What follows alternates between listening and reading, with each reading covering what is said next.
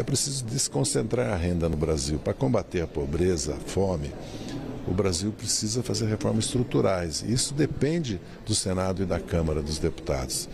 Depende do Congresso Nacional. Evidente que a iniciativa do presidente da República tem sido decisiva. O Lula, todos nós sabemos, toda a história de vida dele é a luta contra a fome, contra a desigualdade, contra a pobreza e a defesa da democracia. É muito importante a defesa da democracia, porque o autoritarismo está presente no mundo, a extrema-direita, e aqui nós tivemos uma tentativa de golpe, dia 8 de janeiro. E tivemos um governo que, durante todo o seu mandato, construiu a volta de uma ditadura, lutou por isso.